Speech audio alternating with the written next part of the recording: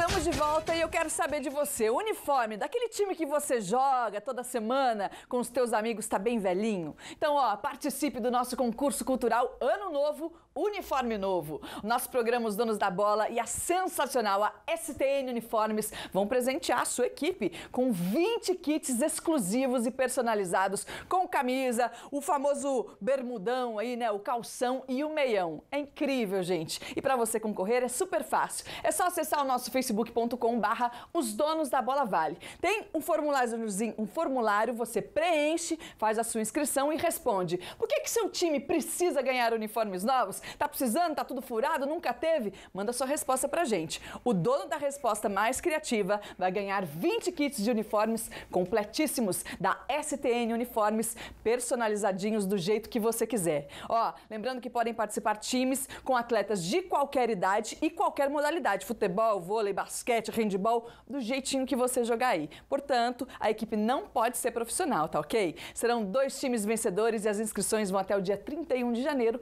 Participe e boa sorte. Um beijo especial para a galera da STN Uniformes, Wagner Grilo. Um abraço, obrigada por estar junto com a gente mais uma vez, tá bom? A camisa aí tá parecendo o Real Madrid, Quem tá ó. vendo? Ó, Coisa chique, linda!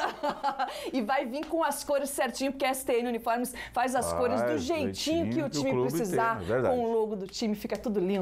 No capricho. No capricho. Agora, gente, falando mais de futebol, né? O futebol profissional, o Esporte Clube Taubaté segue em ritmo intenso aí de preparação para a estreia no Campeonato Paulista da Série A2. A equipe realizou na tarde do último sábado mais um jogo treino, dessa vez diante do São Caetano, lá em Itu, onde o adversário disputa aí, é, onde o adversário que disputa a elite do Paulista está fazendo a sua pré-temporada. O técnico Marcelo Martelotti levou 22 jogadores e a primeira etapa terminou em 0 a 0 No segundo tempo, o Burrão foi rodando seu elenco e o placar ficou em 4 a 0 para a equipe da capital. O atacante Caio Mancha e o goleiro Rafael Robalo falaram sobre essa preparação. Hoje tivemos o último teste, né? Agora vamos trabalhar firme, corrigir os detalhes que faltou, é, a parte física aprimorar um pouco mais e vamos em busca agora da estreia para sair com um bom resultado e agradar a todos os nossos torcedores. Hoje tivemos né, o, o nosso último teste antes da estreia. né, é, foi muito importante para sabermos onde precisamos melhorar, né, aonde temos ainda algumas deficiências, para poder evoluir e chegar aí o mais é, inteiro possível na estreia. É, temos uma semana completa de treinamento, precisamos nos unir, nos focar ainda mais. É, sabemos da grande responsabilidade que é levar o Burrão novamente à primeira divisão. Então vamos com tudo, vamos trabalhar, é, corrigir o que precisamos corrigir e tenho certeza disso, que com o apoio da nossa torcida, da comunidade toda, nós possamos fazer uma boa estreia e, e- e conseguir esse tão sonhado acesso. Obrigado ao Kaique, assessor de imprensa do Esporte Clube Tabaté, mandou pra gente todas as imagens aí. Carmo, jogo treino, a gente costuma dizer que o resultado, o placar pouco importa, ainda mais com o técnico treinando e sendo um time da elite do Campeonato Paulista, como é o São Caetano. É, o, o- se você pega o resultado do jeito que foi, que você informou aí, André, 0x0 titular contra titular. Uhum.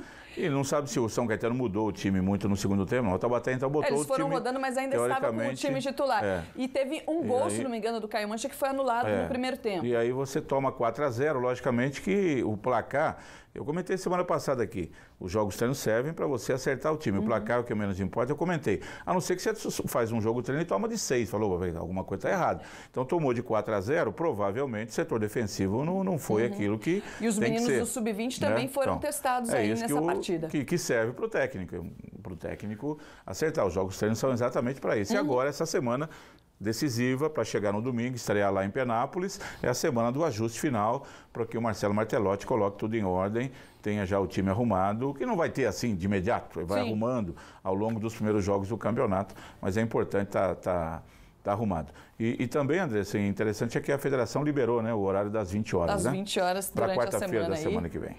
Maravilha, tá certo. Agora fica a nossa homenagem aqui ao presidente, é, ex-presidente do São José, porque o futebol joseense está de luto. Mário Ottoboni, o primeiro presidente do antigo Esporte Clube São José, faleceu nesta madruga- madrugada aos 87 anos por complicações de uma infecção pulmonar e problemas cardíacos. Ottoboni presidiu a Águia entre 1964 a 1971, assumindo o cargo no ano em que o antigo Formigão do Vale começou no futebol profissional. Foi justamente quando o São José foi campeão do equivalente à atual quarta divisão do Paulista e no ano seguinte venceu a terceira divisão. O velório acontece na Câmara Municipal de São José dos Campos e ainda hoje, às 20 horas, será realizada uma missa em homenagem ao Toboni. O velório será amanhã. Fica aqui a nossa homenagem a ele e os nossos sentimentos à família. Cara. Velório amanhã cedo, Andressa, no cemitério municipal do centro de, de, de São José dos Campos. É, o esporte joseense, futebol, a história do São José perde talvez o seu maior presidente, né? uhum. né? Aquele que teve... Ele que construiu o estádio Martins Pereira. Pereira. Ele teve a ousadia naquele tempo, Andressa, de correr atrás, de gastar dinheiro, de, de fazer algo inimaginável. E deixou, sem verba e deixou, pública, não, né? correu atrás de, de, parceiros, botou dinheiro da família e, e ele correu muito lá para conseguir é, construir o estádio Martins Pereira. E do jeito que o Martins Pereira foi feito, André, uhum. ele foi projetado para depois ele poder ser aumentado e ter uma capacidade para mais 10 mil pessoas. Nunca mais ninguém ligou para isso, nunca ninguém mais mexeu lá. Mas Mário Toboni foi um nome extraordinário na vida do esporte josense do futebol e outras atividades uhum. também. Criou a PAC, né, junto a aos detentos. Escreveu livros um, também? Sem dúvida, um, uma perda muito grande. Fica aqui as nossas condolências à família. O programa de hoje, então, foi em homenagem a ele. Uma boa tarde para você, até amanhã.